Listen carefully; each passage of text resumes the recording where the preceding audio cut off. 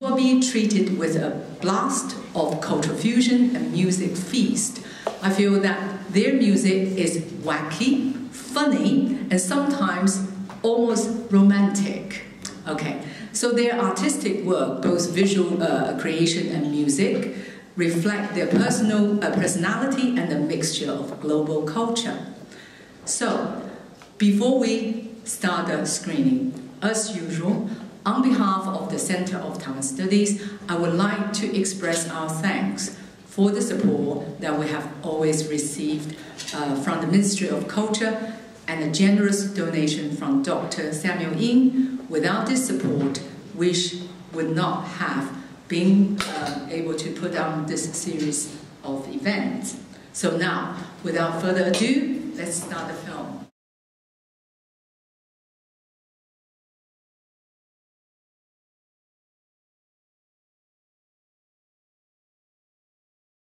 We have up maybe to start. Yeah, okay.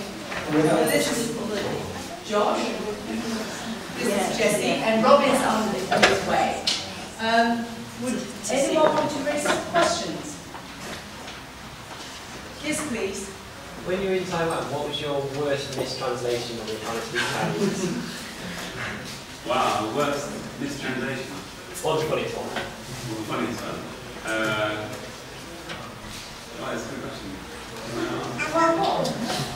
oh, yeah, we have lots. There's always the things trying to remember. them. So one of the worst ones I said was I said, um, what's how was you saying? Uh, uploading to the internet was was Shantron. Uh, Shantron. my teacher said to me my Chinese class, just me and my teacher would like keep waiting. And so she said to me, um, what do you do over the weekend? I said, I was trying to upload some music to the internet. So I said, Shanchuan. so there was a very, very awkward silence. because she didn't know I made a mistake, so she said, she didn't want to say, tell me more. so that was quite a bad one. And then eventually she told me, she said, I, I think you need to upload. Actually, I think uh, we have a new member just come in. It's Robin. And but can I ask a question? Because Robin was not in the film. No. Polar Bear was. So would you like to just describe an evolution of the band? Sure, yeah. Uh, so basically, we um, came back to England in 2012. During that time, we sung the, the official Olympic song for the Taiwanese team. Uh, and then after uh, Beijing, we wanted to move on and do other things.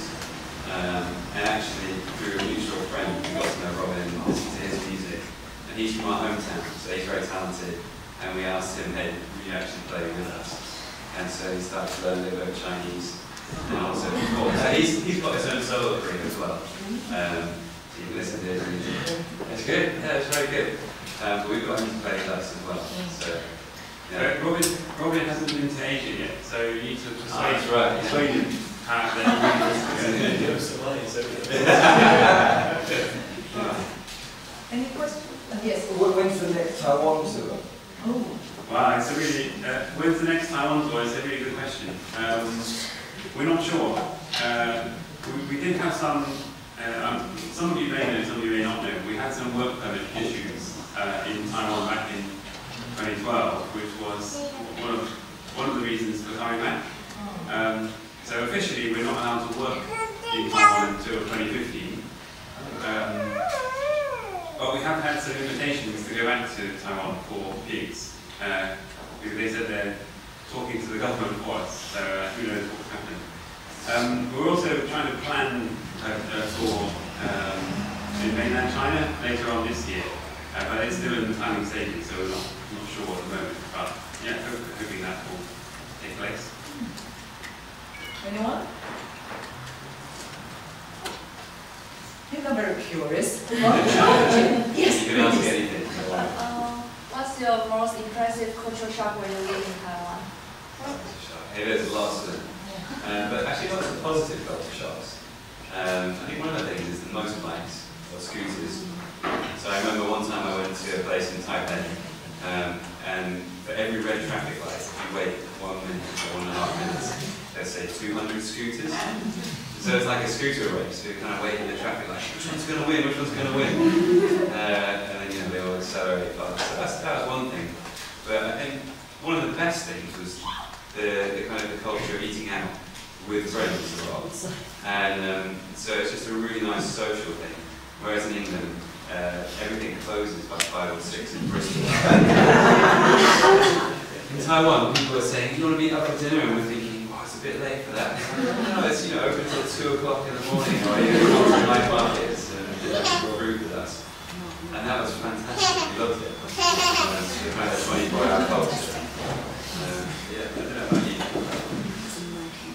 Um, yeah, I think uh, one one really positive thing um, was the family. The, the importance of family seems to be really strong, uh, and lots of our friends will still live at home even when they're you know um, up to 13 or beyond. They still live with their parents, um, which. Uh, for me, is really comforting because uh, I still live with my parents.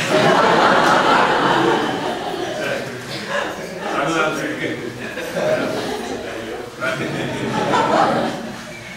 In, in England, it's, it, it's common that when you reach 18 and you go to university, you move city to go to a different university. And usually that's it for, for most of our friends, our peers at least, you know, that, that they kind of then not see their family a couple of times a year often after that, which, you know, it's great to be independent, that's a good thing, but uh, as well, we really appreciated that kind of strong family relationships uh, that seem to really value uh, when, we were, when we were living in Taiwan. Uh, maybe you first? Uh, yeah, well, when you first, oh sorry, uh, when you first went there, did you know anybody there, or did you just turn up in time? Yeah, that's a, that's a, a key point. Like, uh, people always ask us, why did you why did you pick Taiwan when you come from England? It seems like there's no connection. Um, and it was quite, uh, you could say it was chance or coincidence, or you could say it was uh, arranged, I don't know, but um, back in 2002, uh, our family, as four brothers, um, started to host foreign students, and the first student who came to live with us uh, came from Taiwan and went to the local language school to learn English. Um, so it was through getting to know her and some of the other Taiwanese classmates in the school uh, that we first got interested. And, um, and so when they saw our band performing in Bristol, they always said, oh, one day you've got to come to Taiwan. Like, well, where's Taiwan? Um, but over some time then, they, they persuaded us. So that was why in 2005 we went for the first time to the Spring Scream Festival. Uh, and I think from then we got hooked, so we kept going back and back until we moved there to stay. Do you want to add anything? Yeah, I think that's good. Uh, yeah, well, one of the things that we, about the first time we went, was that obviously we, we had these friends who were there, but we didn't know if they were going to meet us at the airport or not, or what we'd do when we got there. So we had like loads of guitars and loads of CDs, and um, everyone was asking us, so what are you going to do when you get there? Something will happen when we got there. Um, the other thing was we only had an email from the Spring Scream Music Festival, which was the first festival we went to, to say to come. So it wasn't a big um, contract or anything. And lots of people say, who's your promoter or who's your agent? And it wasn't quite like that. So we kind of thought on the plane, I remember sitting there thinking, is this all a big hoax? you know, uh, but we actually got there, and the friends who we'd known before met us at the airport. And it was just one big adventure really. They kind of took us to a hostel that Josh had booked online and then told us that's a bit of a dangerous neighbourhood and you should look somewhere else. and it was brilliant. Um, and then getting the night bus down to Kenting, which is in the very south of the island. And um, I think we felt, when we arrived in Kenting, we felt very smart. Because we're thinking, wow, people tell us, you've been telling us for years and years you should go to Glastonbury, but all it is is mud and floods there. And now we've come to paradise with trees and yeah. So that felt like the right place for a music festival. Yes, please. So I'd like to ask the second question, but remember you said before how important family is in Thailand, and I know when I lived there, one of the best things I had was a family basically adopted me, not only stopped me from starting, but also really helped me integrate into the culture. Was there a family like that for you? Uh, for me, yes. I, I lived with a, a family in Taiwan. Um, and that was really special, uh, apart from really helping my language, of course, because I had to practice with them every day. Um, they were a youngish couple, uh, and they had two children during the three years that I was there. So uh, I was the, the uncle of the children. uncle was the first English word that both of them learned, so was, that was a real privilege. I was very lucky as well because I um, was looking for flats on the internet there, and as an English person, you probably know that's pretty difficult. Um, if you don't know the city at all, if you like turning up in London and thinking, just look on, and you, don't know what you're looking for. And one of my friends said, oh, just just ask us, and I was too embarrassed. You know, maybe a little bit English. I was thinking, I don't want to bother her. I don't to, you know, maybe it's not polite. Maybe I'll say the wrong thing.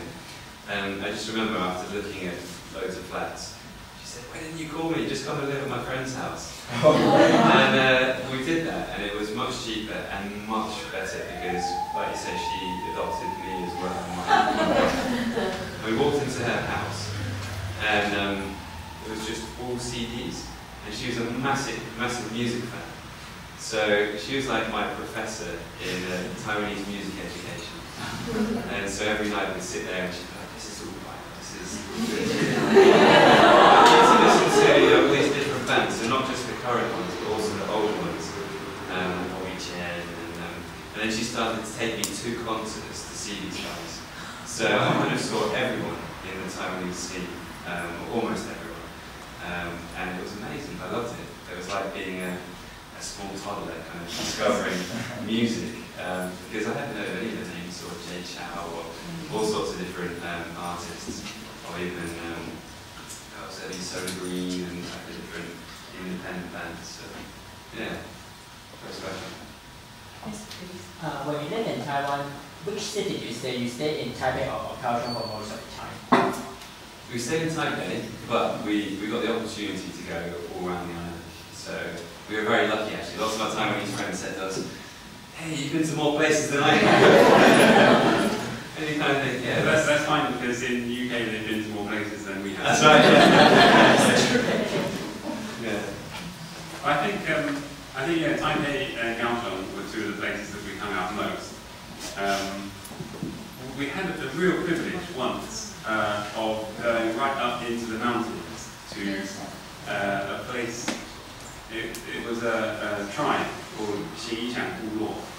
Uh, it was like an aboriginal tribe right up in the mountains. of Taiwan. And the idea, it was uh, a teacher from a school was taking his students there for like a, a weekend camp or, or during the holidays or something anyway. They invited us to go uh, to teach some music classes. And, and so we went and, you know, I was teaching drums and Jen was teaching guitar and I think uh, was teaching some singing. Um, and it was really fun. And then it got to the, the concert part where we played a concert and and then we just got the guys, okay, sing along with this. And then they sang along, and it's like, wow, they, they don't need any teaching, they're super talented at, at music. Uh, it was really um, a really special experience meeting a completely different side of Taiwan that we never, uh, you, don't see in the cities.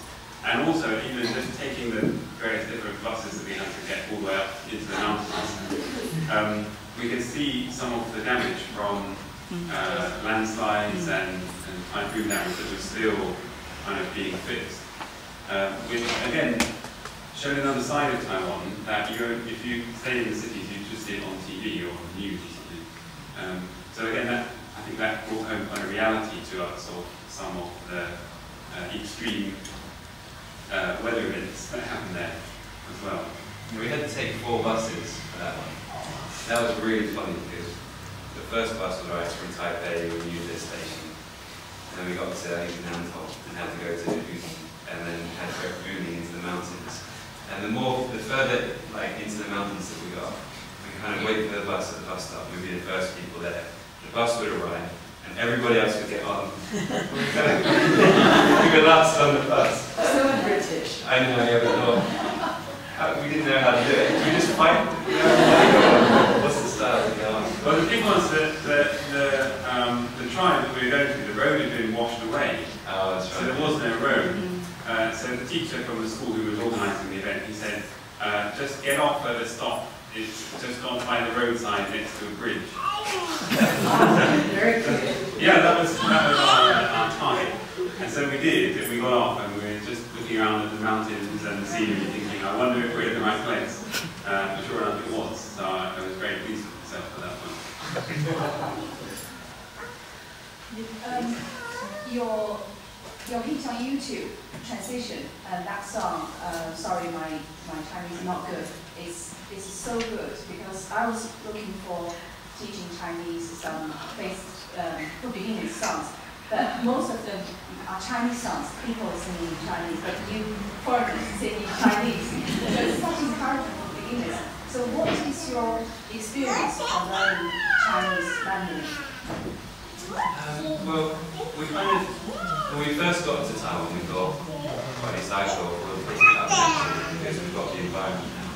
Um, but actually, that wasn't the case because everybody's English was so good, so they just spoke English to us.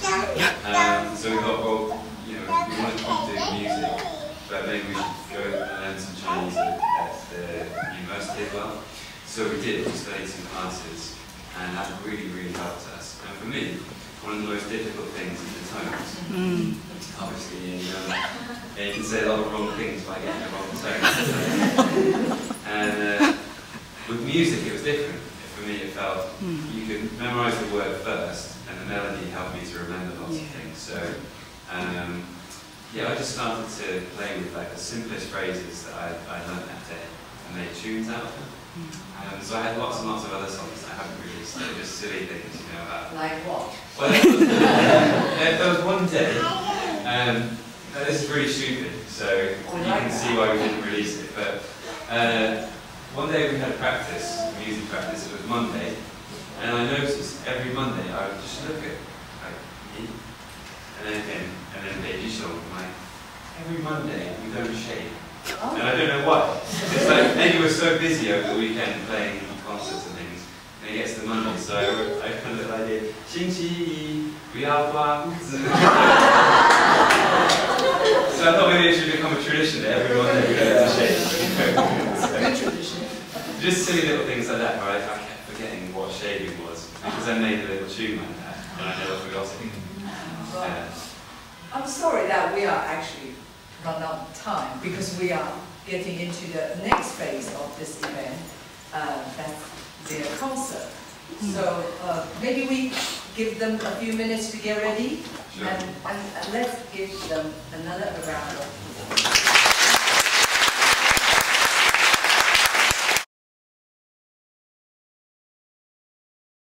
And um, I think our band's ready.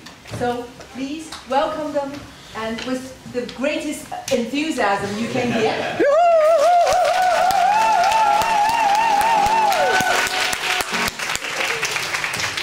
Thank you, everyone. Good evening.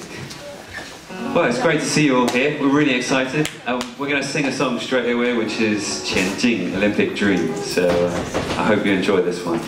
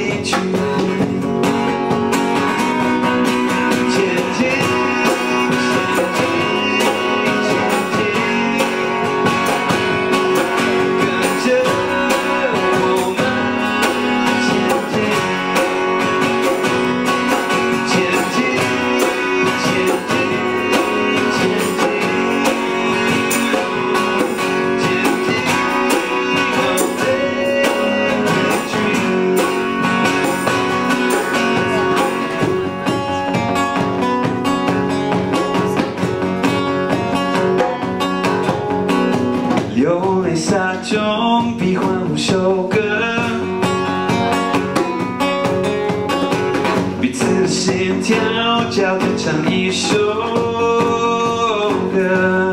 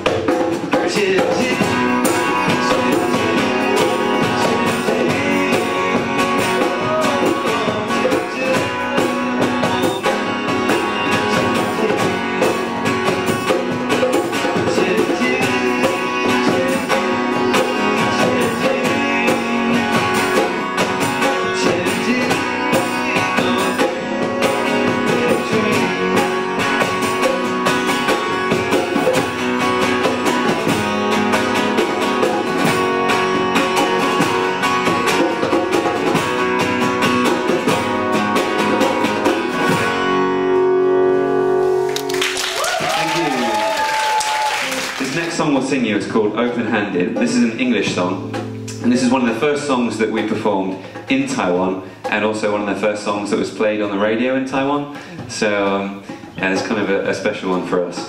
So here we go.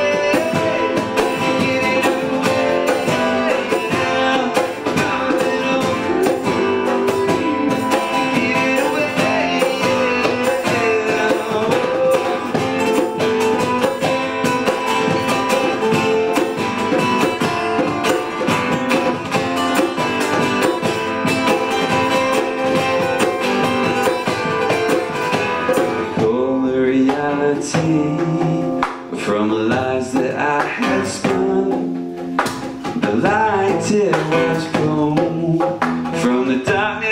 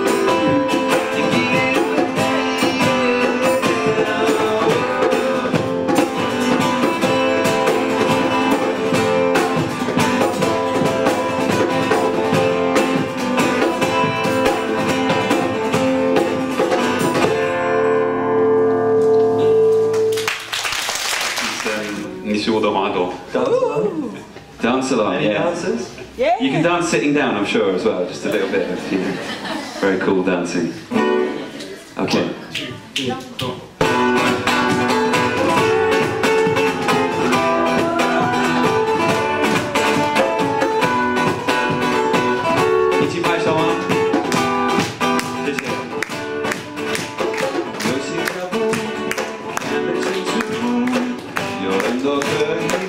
You're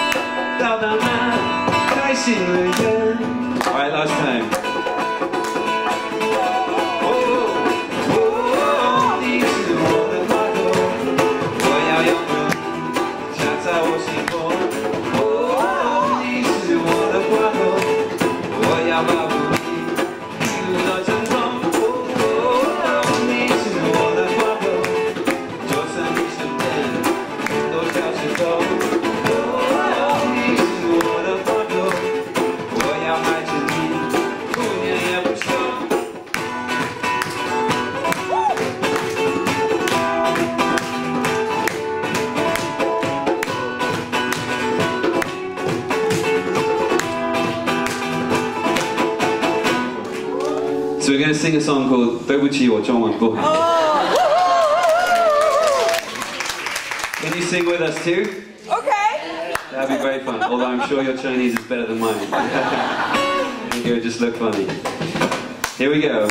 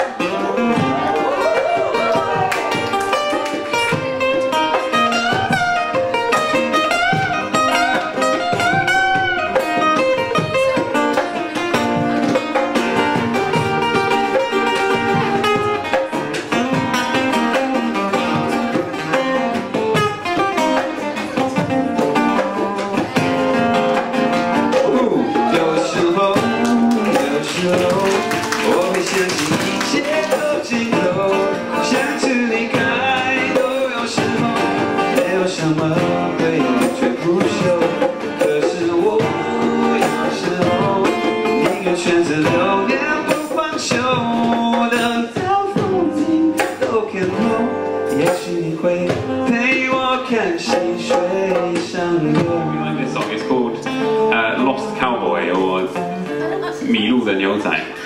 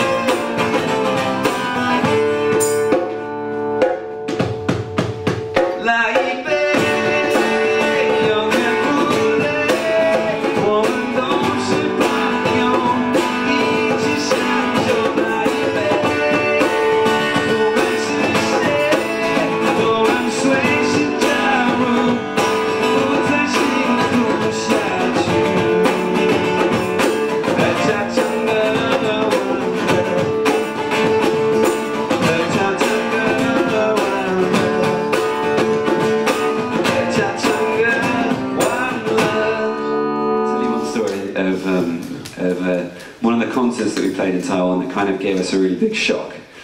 And this was one time when we went to um, Ximending and we played in this like this building that was on the fifth floor. So this is in Taipei. And um, so it's not really high, but it's quite high. And uh, halfway through the, the song, a, a little bit like that song then, I was playing a solo and everyone screamed and I was like, wow, this is a great audience. wow, I must be on fire, you know, playing really great, great music. And uh, after the song finished, there's, there's a kind of nervous atmosphere. And I thought, oh, why? And I, I looked around at the other two guys and they, they saying, oh, uh, did you feel it? And I said, feel what? Thank God we're still alive. And he said, thank God we're still alive. And it was a big earthquake while we were playing. because I was playing a solo, I didn't realise. So, so I was there. And I looked up and the lights were still swinging and he almost fell off his chair on the drums because it's like swinging around so much. Yeah, it was crazy. Um, so my solo wasn't that great.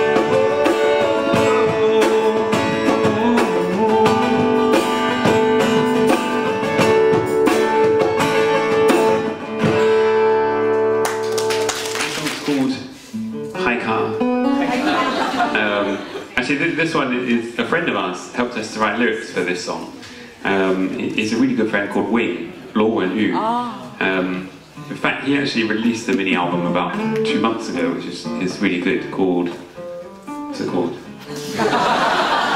天，呃，苦苦呃苦天人生，呃全世界的孤单 is his main single anyway. Uh, if you listen to his music, usually the people playing instruments are us, and if you listen to our music, we've got three or four songs where he's helped to write lyrics. So we, we like um, that kind of collaboration, cross-cultural collaboration. It's really enriching, I think. So uh, this song is called Haika, and it's the song that we came up with the, the music and the idea for it.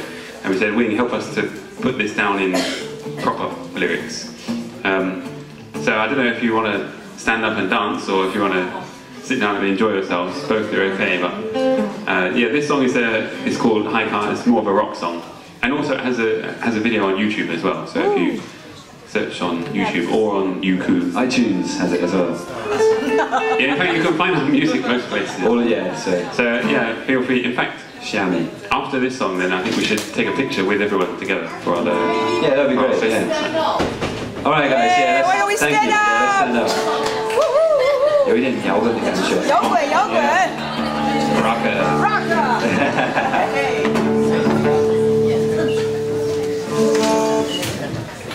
音乐在老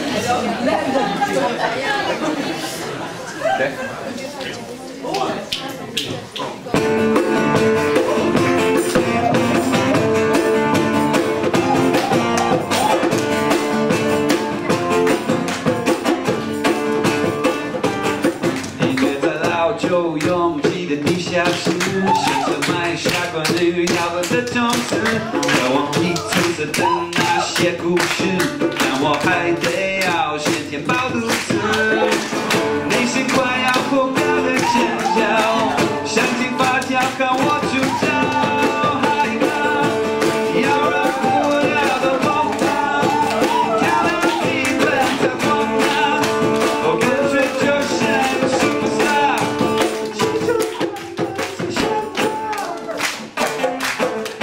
来摇摇演唱会的现场，我即将把气氛带到天上，转悠来，心情把安全带系上，感受阴冷空气。